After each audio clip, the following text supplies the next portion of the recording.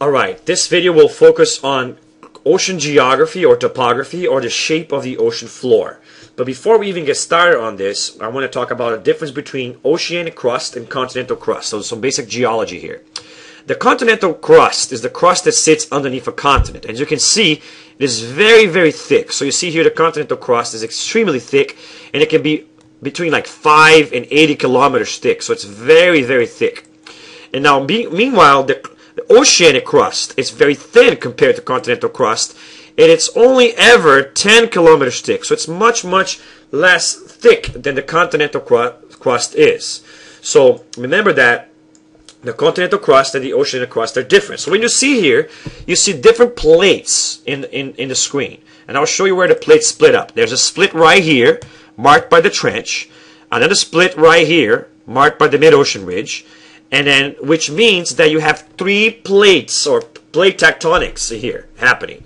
Three pieces of the earth's crust.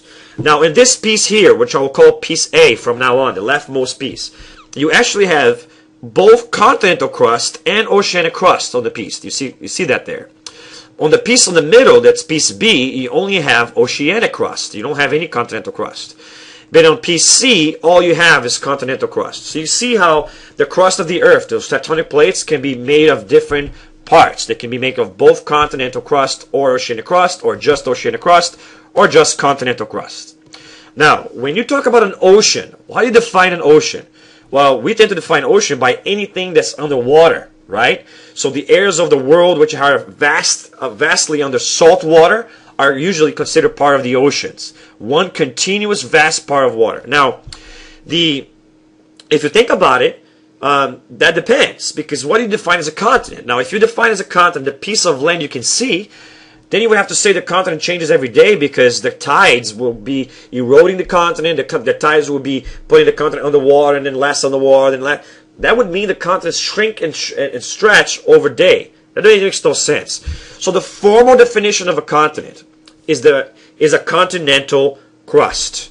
So if you are part of a continent, that means that you are going to be one continuous continental crust. So this right here, all the way to the end of the continental crust will be considered part of a continent, and all of this will be considered part of the other continent.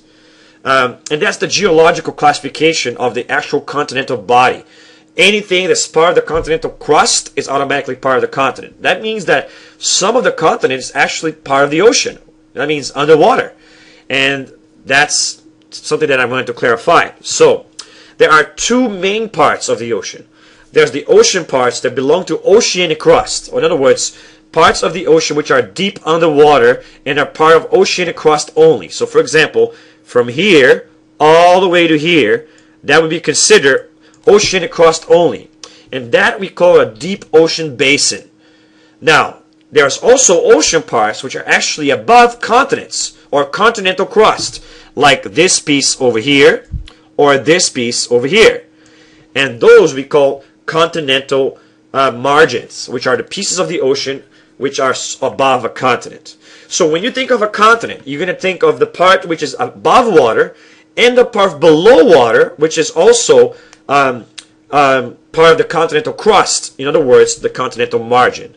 Now let's talk about the structures of the ocean floor. The continental margin, which is the part of the continent underwater, actually splits into um, three different parts. You have the continental shelf, the continental slope, and the continental rise. And you see there that on the top left hand corner. Now, I'm going to start on this side. This is also continental crust, but I'll talk about this side because it's a little simpler. Now, the first most prominent feature of the continental margin, which is part of the ocean, is called the continental shelf. To explain the continental shelf, I have to draw a square. So give me a so imagine for a second that this box here represents an ancient continental uh, uh, crust that was there not necessarily covered by ocean.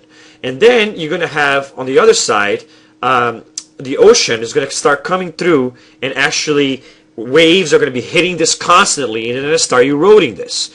And so the waves are constantly hitting this, eroding it, and cutting chunks out of it. Before you realize, start getting this slope here.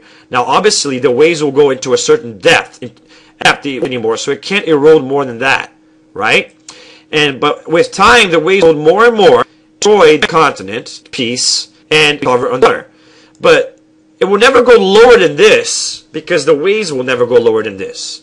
And so while this process will continue in this direction and the continental erosion will continue over time, and then over time you're going to get more and more continent disappearing because of the of the motion of waves constantly hitting the continent and you're going to erode it, you're never going to get below this point because that is as deep as the waves will go. And so what you end up getting is this steady slope uh, below the water, which is called the continental shelf. shelf. Now, eventually, when you get to that point where the, the waves no longer act, you get a sudden drop off where the shelf just goes boom all the way down to the bottom of the ocean. And that we call the continental slope. So the continental slope is right here, and the continental shelf is this steady, steady incline towards the continental slope. When you get to the slope, it's a sudden dip of the actual slide.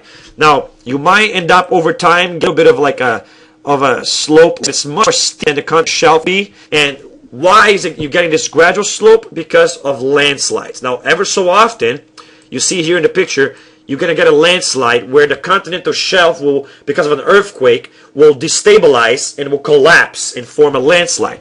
By the way, whenever that happens, all that dirt that's coming from the continent mixed with the water in an instant and it causes what is called a turbidity current. It's a deep murky brown water that actually pushes all the water forward and actually causes a tsunami. So one of the things that causes tsunamis is the collapse of the continental shelf. Now, as the continental shelves collapse, you actually get these gaps in the continental shelf, which are called submarine canyons. And these gaps went on to become a bunch of, of, of, sediment that gets thrown into the deep ocean basin to create this slope they're talking about here. It's a bunch of sediment that's really all come from the collapse of the continent. That is what we call the continental rise. So for review, the continental slope is the steady decrease of the continental shelf because of wave erosion. The continental slope is the sudden deep dip as, as the continental shelf ends and it's sudden because that's the area where the continental shelf ended, but there's no erosion happening there. And then you have the continental rise, which is the accumulation of landslide material uh, over centuries of, of destabilized continental shelf, creating canyons and turbidity currents and things like that. And that, in a nutshell, is our, your continental margin, which will include features like the continental shelf, the continental slope, the submarine canyon, and the continental rise. You also may have sometimes something called an island arc. Now, an island arc it, it forms on the opposite end when an oceanic crust collides with the continental crust, dead on like this. You will form a trench in between, but this causes the continent crust to actually bulge up, like you see here. And this bulge will create will have cracks and things like that, which will create series of volcanoes and mountains underwater, which may actually protrude over the top and create an island arc or a series of islands eh, in the uh, away from the continent. So you actually see an island arc, and then you actually see the the continental um, the rest. So this this is an example. This on the right side with plate C is what would happen plate A if it were to collide with an oceanic crust. And so that's not happening to plate A because instead of colliding with the oceanic crust, this plate is moving that way, and this plate is moving this way, but this plate is moving this way. So think of it in the other side of plate A, you would have something like this, like plate C. And that's what I'm trying to get at. So basically, if the plate A is moving in this direction right there, um, the other side of plate A will look like this because it will probably be hitting an oceanic crust that's moving this way. And we'll talk more about this when we do actual plate tectonics. But as you can see, that's when you would get an island arc. All right? Now, then let's talk about the deep ocean basin. But I'll do that on the next video when I'll talk about the pieces of the ocean which are, are over continental uh, oceanic crust only. So I'll see you that on the other video.